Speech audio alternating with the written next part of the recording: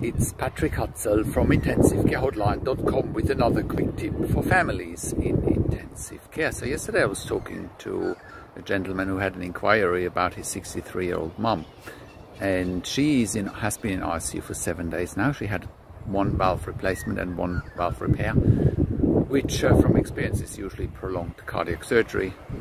Uh, you know, the chest will need to be opened.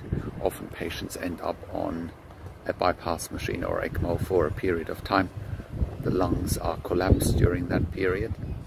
And uh, when patients come back uh, after this type of surgery, you know, under normal circumstances, if they're stable, if surgery went well, they usually can be extubated within 24 to 48 hours, assuming they're hemodynamically stable, assuming there's no post-operative bleeding, and then they can often be sent to a hospital ward uh, or hospital floor to get on with their recovery.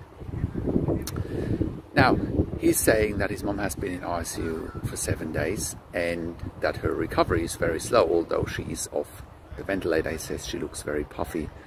She's very slow to recover, you know, and for whatever reason, the ICU is still keeping her under, again, normal circumstances. This particular lady should be back to the ward. So there must be some form of complications that he's not aware of and that I haven't been able to answer because simply, you know, he doesn't have enough clinical information, he doesn't have access to medical records, and we haven't spoken to doctors and nurses yet. And that comes back to that the biggest challenge for families in intensive care simply that they don't know what they don't know. They don't know what to look for, they don't know what questions to ask, they don't know their rights, and they don't know how to manage doctors and nurses in intensive care.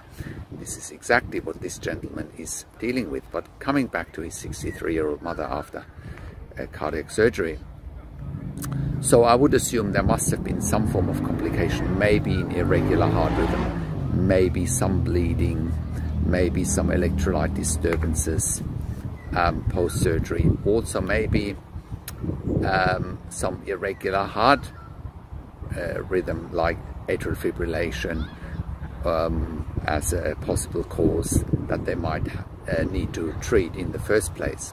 But he says, you know, she's really slow, she's very slow to speak, she's not eating and drinking yet, you know, she seems to be in a lot of pain, and that is another issue after cardiac surgery.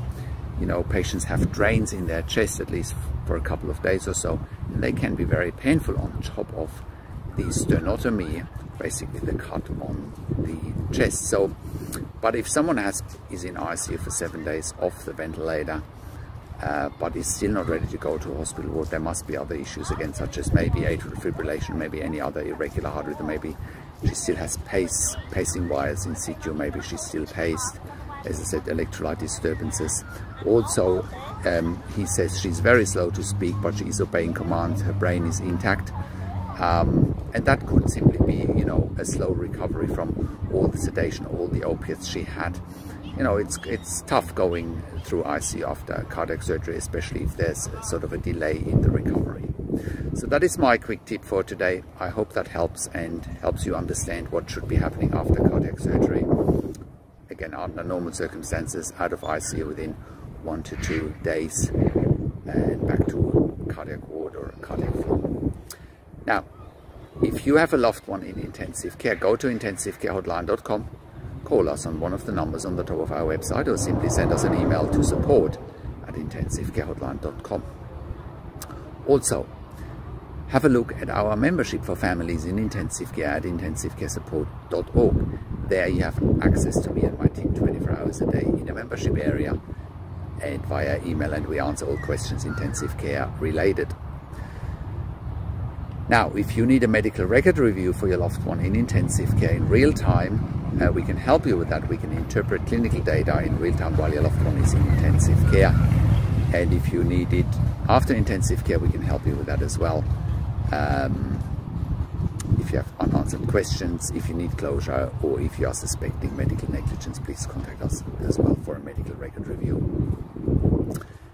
Now, subscribe to my YouTube channel um, for regular updates for families in intensive care, share the video with your friends and families, click the like button, click the notification bell and comment below what you want to see next or what questions and insights you have from this video.